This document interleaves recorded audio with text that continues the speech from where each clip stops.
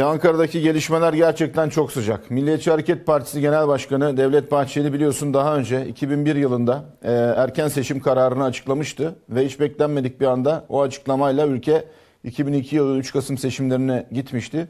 Bugün de benzer bir açıklama yani direkt bir seçim çağrısı yok ama e, Devlet Bahçeli'den bir son dakika açıklaması geldi.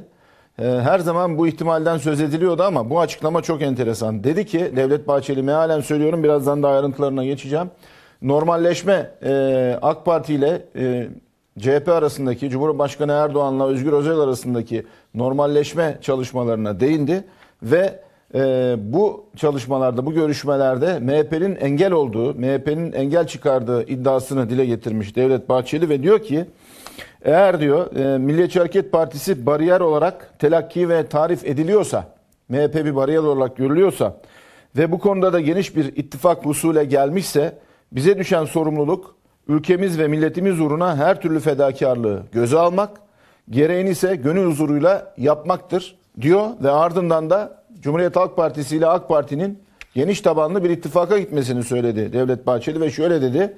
AK Parti içindeki gayrimemnun kesimin devamlı suyu bulandırmasını da dikkate alarak AK Parti ile CHP arasında geniş tabanlı bir ittifakın vücuda gelmesi, buna da altılı masanın diğer unsurlarının desteği Milliyetçi Hareket Partisi'nin samimi dileği ve temennisidir.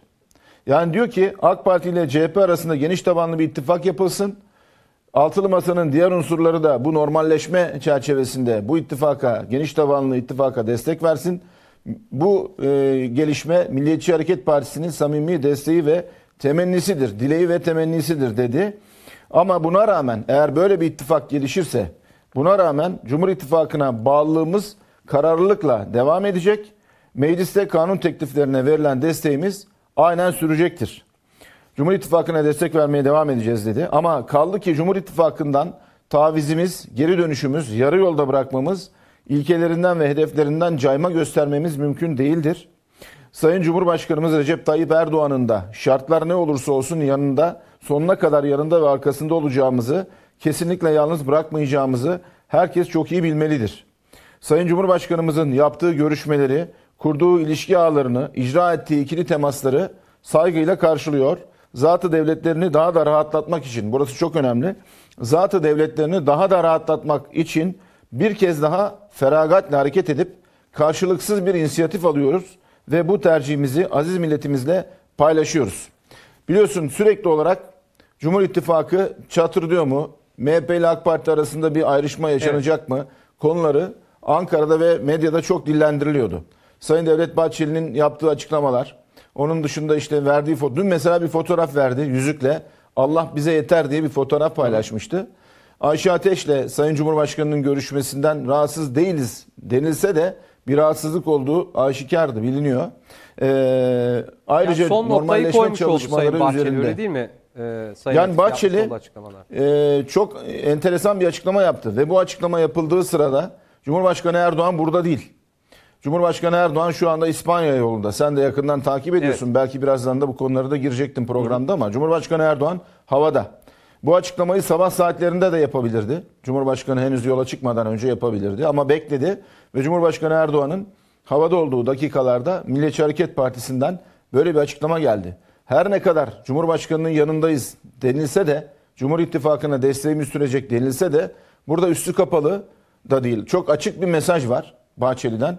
Diyor ki siz madem normalleşiyorsunuz ve madem biz engel olarak görünüyoruz Milliyetçi Hareket Partisi olarak o zaman buyurun CHP ile AK Parti diğerlerini de diğer altılı masanın diğer bileşenlerini de yanına alarak geniş tabanlı bir ittifak kursun ve bundan sonraki süreci beraber yürütsünler.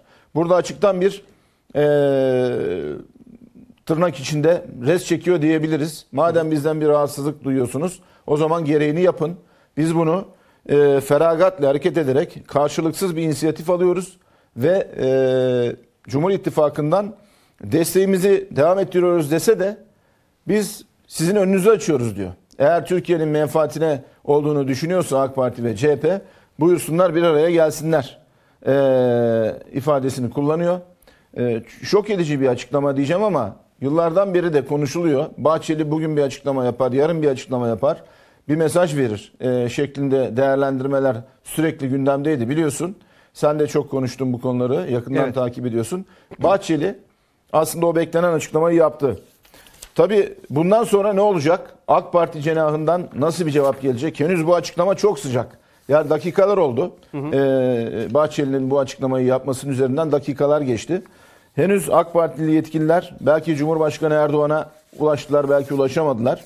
Ama bu meydan okumaya diyeyim. Bu Bahçeli'nin tabiriyle feragatle hareket edişe ve inisiyatif alışa AK Parti Cumhur İttifakı'nın büyük ortağı, asıl büyük ortağı AK Parti'den Cumhurbaşkanı Erdoğan'dan nasıl bir cevap gelecek? Evet. Onu merakla bekliyoruz. Biliyorsun eee Ayşe Ateş'le görüşülmesinden rahatsız değiliz dense de bugün bir başka açıklama yapmıştı. C- e, Milliyetçi Hareket Partisi'nin sözcüleri Semih Yalçın ve Fethi Yıldız.